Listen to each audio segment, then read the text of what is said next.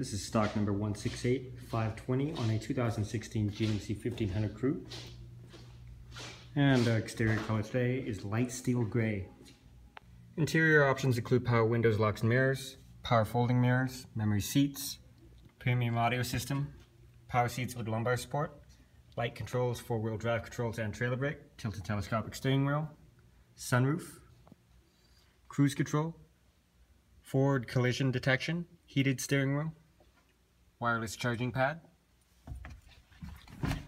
hands-free communication audio controls, garage door, uh, garage door opener, OnStar 4G LTE, electrochromatic mirror, CD AM FM XM satellite radio ready with USB and auxiliary support and can be Bluetooth enabled, heated and cooled seats, dual zone electronic climate control with AC, power adjustable foot pedals, traction control, rear cargo lamp, parking assist, lane keep assist, hill descent control, and lane departure assist. And our interior color today is black. This vehicle comes equipped with retractable running boards,